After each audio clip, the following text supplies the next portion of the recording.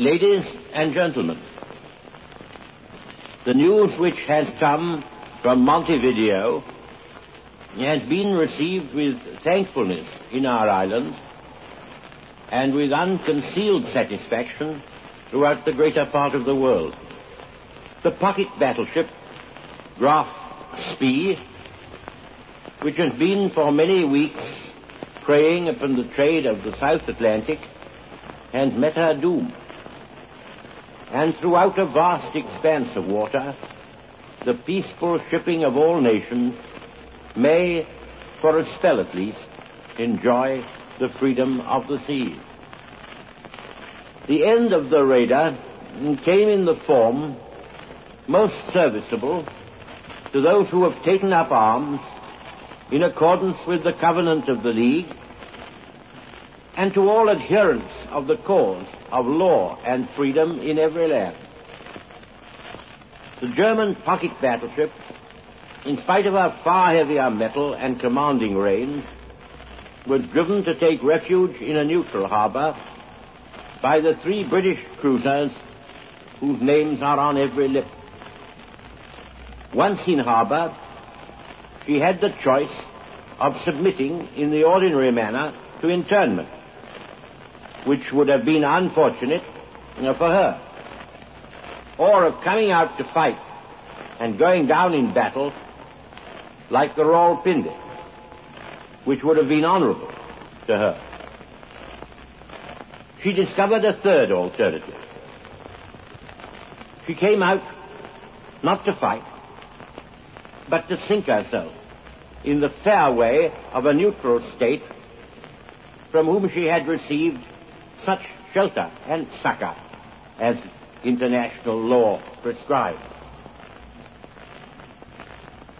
At that time, the pocket battleship Von Spee knew that the British heavy ships, Renown and Ark Royal, were still a thousand miles away, oiling at Rio. All that awaited her outside the harbor were the two six-inch gun cruisers, the Ajax and the Achilles, who had chased her in, and the eight-inch gun cruiser Cumberland, which had arrived to take the place of the damaged Exeter. Here at home in the North Sea, our British submarines have had the best week I can remember in this or the last war. A considerable proportion of the total German cruiser strength has been sunk or put out of action in a single week.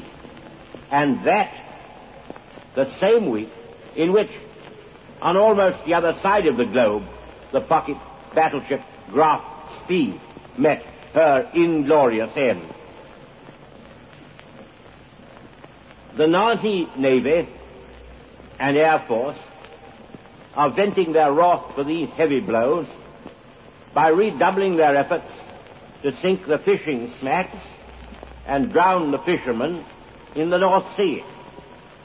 And all yesterday and today, their Air Force has been trying to bomb individual unarmed merchant ships, including an Italian ship, which were moving up and down the east coast of Britain.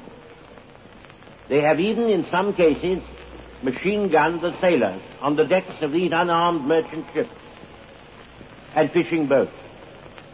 I'm glad to tell you, however, ladies and gentlemen, that the heat of their fury has far exceeded the accuracy of their aim.